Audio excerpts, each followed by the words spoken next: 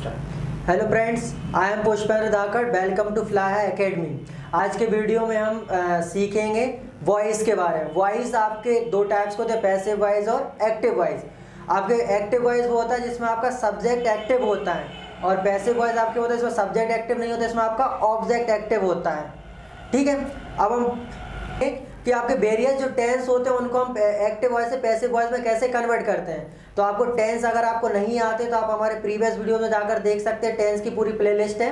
उसमें पहले पूरे टेंस देखें, फिर आपको उसी के अकॉर्डिंगली मैं आपको वॉइस यहाँ पे बता रहा हूँ। तो सबसे पहले हम पढ़ेंगे प्रेजेंट टेंस में। तो प्रेजेंट टेंस में सबसे पहले हम पढ़ेंगे सिंपल प्रेजेंट टेंस में। सिंपल प्रेजेंट टेंस में वॉइस बनाते कैसे? इसमें आपकी हेल्पिंग वर्ब जो होगी इज़ एम आर यूज़ करते हैं। हेल्पिंग वर्ब आपकी इज़ एम आर और आपको मैं बता दूँ वॉइस में आप कभी भी कोई हेल्प जो आपकी वर्ब की जो फॉर्म होती है, वो हमेशा थर्ड फॉर्म यूज़ करते हैं पैसिव वॉइस में.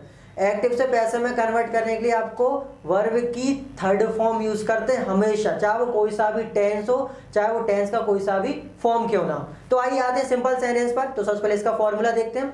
फॉर्मूला आपका होगा subject plus is am are plus verb का third form plus by plus object जी हाँ क्या है आपका? Subject plus is am are plus verb का third form plus by plus object अब आपका एज एम और आर ये तीनों का यूज़ जो होता है एज एम और आर आपको जैसे सब्जेक्ट के अकॉर्डिंगली इनका यूज़ होगा एज का यूज़ सिंगुलर के साथ और आर का यूज़ प्लूरल के साथ और एम का यूज़ आई के साथ होता है। तो इसी में हम देखते हैं। अब आपको मैं बता देता हूँ, थोड़ा सब्जेक्ट को ऑब्जेक्ट में कन्वर्ट आपको करना पड़ेगा यहाँ पे। जो आपके एक्टिव सेंटेंस में, जो सॉरी आपके एक्टिव वॉइस में जो आपको जिसको कन्वर्ट करेंगे आप पैसिव वॉइस में तो उसमें आपका जो सब्जेक्ट होता है, वो आपका ऑब्जेक्ट बन जाएगा, जो आपका ऑब्जेक्ट होगा, वो आपका सब्जेक्ट बन जाएगा। तो ऑब्जेक्ट से सब्जेक्ट सब्जेक्ट से ऑब्जेक्ट बनने के पहले आपको थोड़ा कुछ समझना पड़ेगा। जी हाँ तो आपका जो, सबसे पहले जो सिंगुलर ऑब्जेक्ट्स होते हैं he she it any name तो ही शी इट जो आपका ही होता है, वो आपका हिज हो जाएगा, जो शी होगा, वो आपका हर हो जाएगा। अब इसके बाद आपके प्लूरल पे आते हैं। प्लूरल में आई वी दे यू आई आपका मी हो जाएगा वी आपका अज हो जाएगा दे आपका देम हो जाएगा।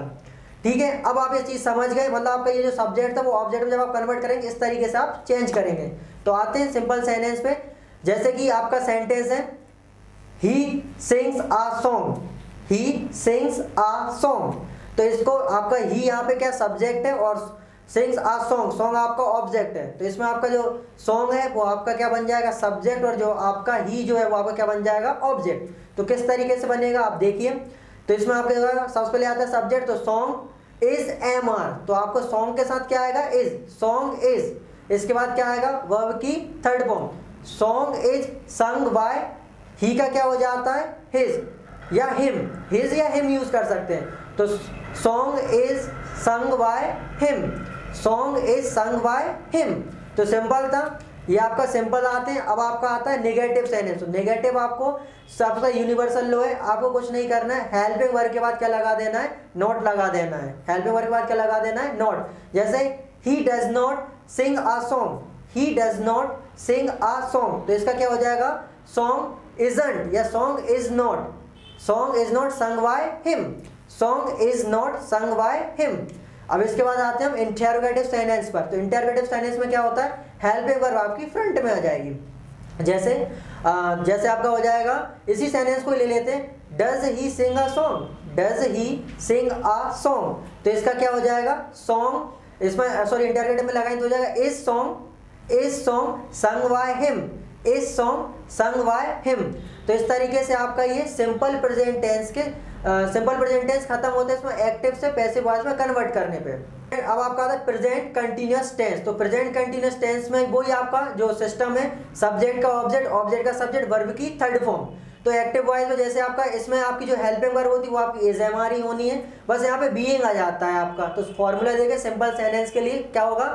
आपका होगा subject plus is am are plus being plus verb का third form plus by plus object जैसे कोई सेंटेंस हम उठा लेते हैं, यही सेंटेंस उठा लेते हैं, जैसे he is singing a song he is singing a song तो क्या हो जाएगा? A song a song is being sung by him a song is being sung by him a song is being sung by him अब negative का rule क्या होगा? Negative में कोई आपको इज़ एम आर के बाद क्या लगा देना है? नॉट तो जैसे इसी को बनाएँगे तो a song is not being sung by him a song is not being sung by him.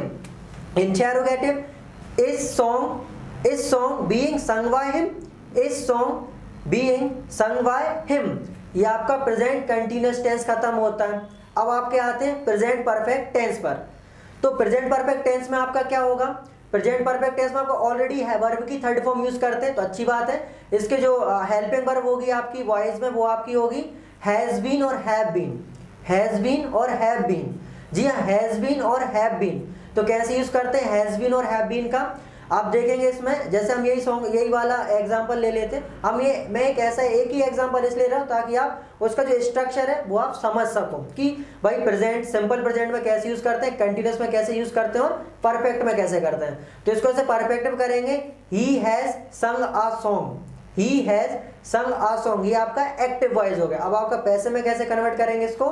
तो आपका पैसे में कन्वर्ट के लिए पहले इसका फॉर्मूला क्या होगा? इसका फॉर्मूला होगा सब्जेक्ट प्लस हैज़ एफ़ प्लस बीन प्लस वर्ब का third form plus by plus object तो ये कैसे होगा इसका?